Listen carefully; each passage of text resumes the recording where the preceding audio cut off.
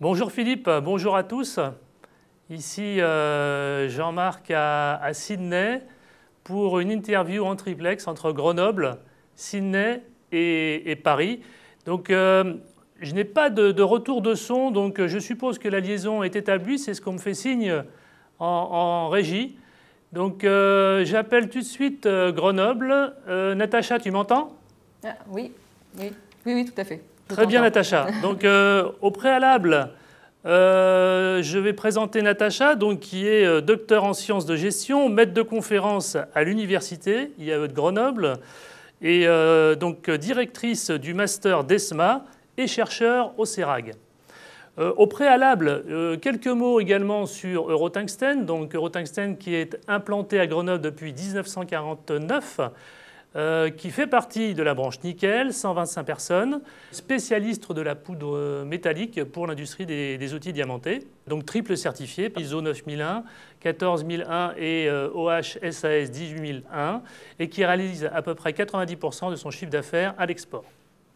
Donc euh, pour commencer euh, cette interview, donc, dont le thème et le client interne et le processus achat. Une première question donc pour euh, Natacha. Donc, euh, Natacha, quelle est la place du client interne au sein du processus achat selon toi?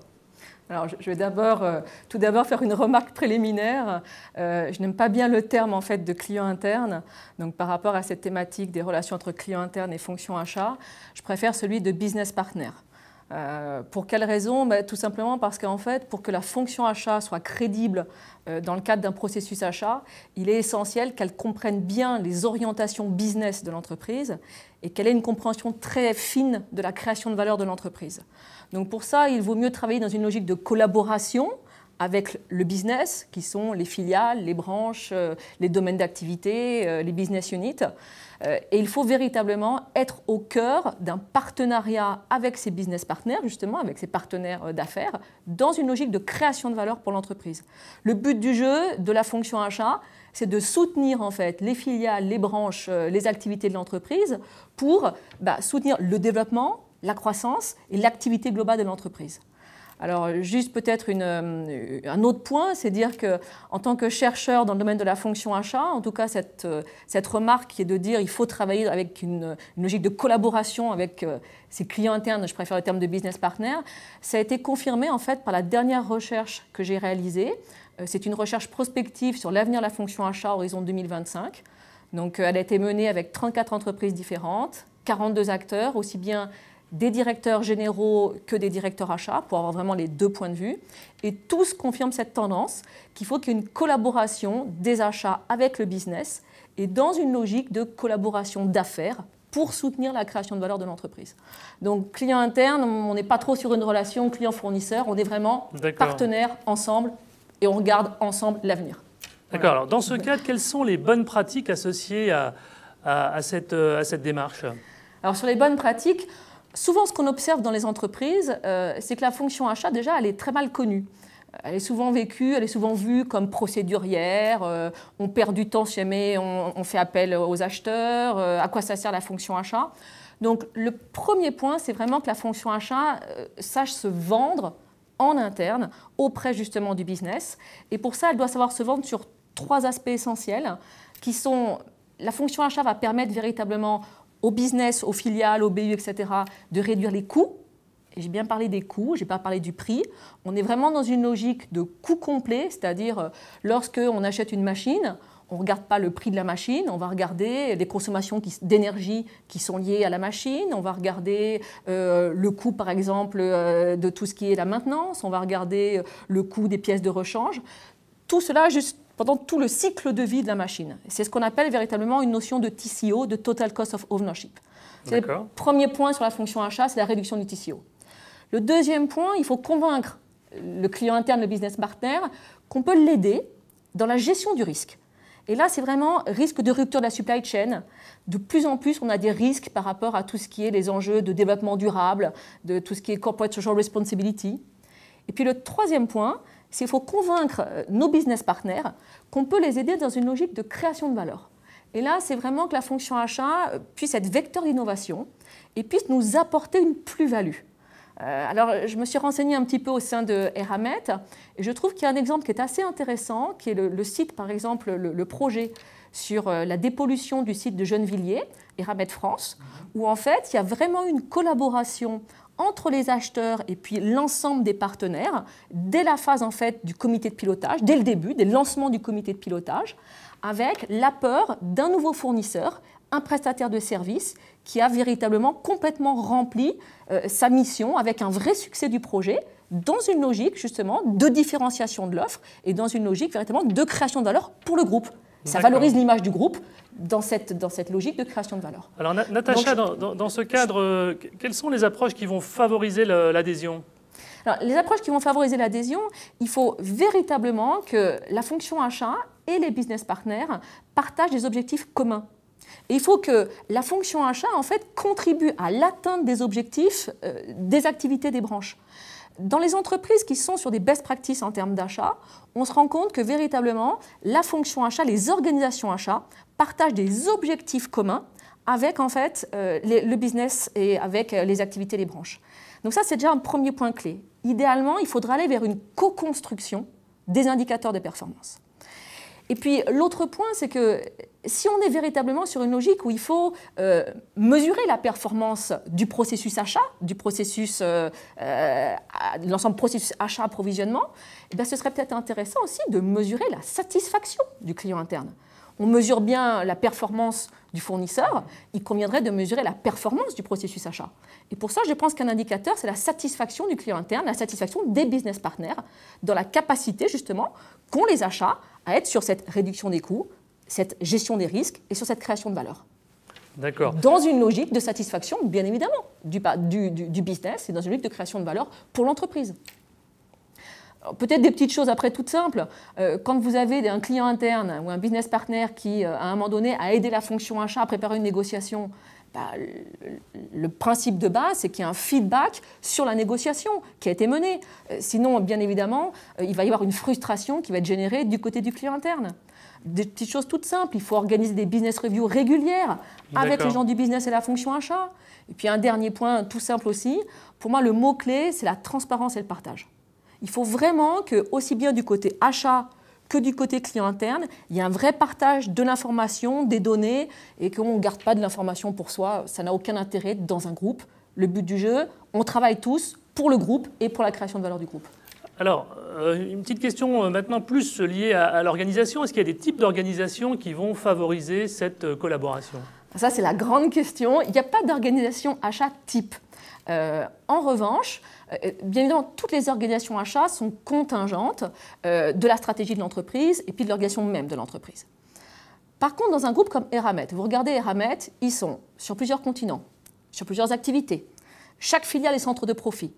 Mais dans un groupe de ce type-là, en aucun cas on ne pourra avoir une fonction achat centralisée. Donc idéalement, il faudrait aller vers ce que j'appelle une fonction achat, une organisation achat qui serait atomique et réticulaire. Alors je m'explique.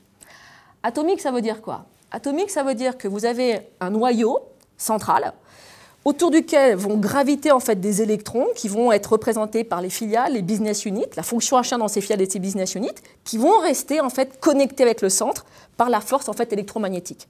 Et cette force électromagnétique, c'est la puissance du réseau. C'est la construction d'un réseau achat au sein d'un grand groupe. Et pour construire un réseau achat au sein d'un grand groupe, il faut véritablement être sur une communauté de pratiques il faut que véritablement il y ait des partages de best practices. Il faut qu'il y ait un seul processus achat-approvisionnement commun à l'ensemble du groupe. il faut qu'on puisse partager à un moment donné aussi et avoir les mêmes indicateurs de mesure de performance pour l'ensemble du groupe. Donc je pense que ça, c'est vraiment des points clés, en tout cas au niveau euh, de l'organisation euh, achat. Simplement pour vous donner peut-être des exemples sur des entreprises euh, qui seraient structurées comme ça, pour moi un très bon exemple, c'est Bouygues Construction. Bouygues Construction, c'est une entreprise qui est sur des chantiers à travers le monde entier, sur l'ensemble des continents, avec des cultures très différentes euh, et des problématiques technologiques très différentes selon si on construit un pont ou une prison ou un hôpital. Et eux, ils sont typiquement sur ce réseau en fait achat, avec cette communauté d'acheteurs, pour essayer de fédérer l'ensemble de cette communauté d'achat en réseau avec les clients internes. Donc ça, c'est vraiment un premier point. Et puis juste pour parler de la dernière recherche que j'ai faite, il y a une petite tendance aussi que l'on voit poindre dans des problématiques qui sont des problématiques très pointues de sécurisation, par exemple, des flux, ou alors pour essayer d'avoir plus de visibilité sur certains marchés fournisseurs, on voit de plus en plus de regroupements achats entre concurrents. Alors, c'est des choses que l'on voit de façon euh, très courante dans le domaine de l'aéronautique. Par exemple, en France, avec le regroupement d'achats qui s'appelle Aerotrade. Bien évidemment, euh, au niveau international, euh, dans l'automobile, avec des Joint Purchasing Organizations, par exemple entre PSA, General Motors, ou encore dans le domaine des télécoms, avec une joint venture au niveau des achats stratégiques, par exemple, entre Deutsche Telekom et puis France Télécom. Donc ça, c'est aussi une tendance, euh, peut-être un signal faible, qui nous dit faites attention, ça peut être une piste aussi en termes d'organisation achat quand on a des problématiques spécifiques sur la sécurisation de certains flux d'approvisionnement. D'accord, Natacha, merci pour cette partie organisation. Maintenant, si on parle, euh, si on parle des outils, qu'est-ce que tu peux nous, indiquer, nous donner comme, euh, comme information sur des outils privilégiés qui pourraient favoriser cette, cette relation et supporter cette relation? Le préalable, euh, quand on est un acheteur euh, et quand on veut élaborer une stratégie achat, c'est déjà d'avoir une bonne idée euh, de tout ce qu'on appelle bah, les spends, c'est-à-dire les consommations. Donc le, préalable, c'est d'avoir un bon outil de spend management et de spend analysis. C'est la base.